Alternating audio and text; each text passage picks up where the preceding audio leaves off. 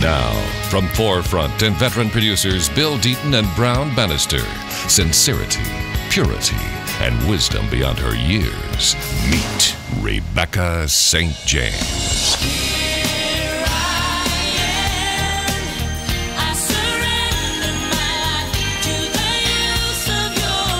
Rebecca St. James' self titled debut album reads like an open book. It's a reflection of Rebecca's personal heartfelt desire to honor Jesus.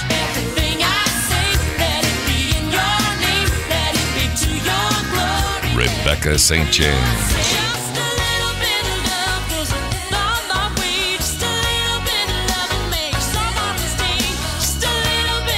Rebecca St. James. Available right now from ForeFront.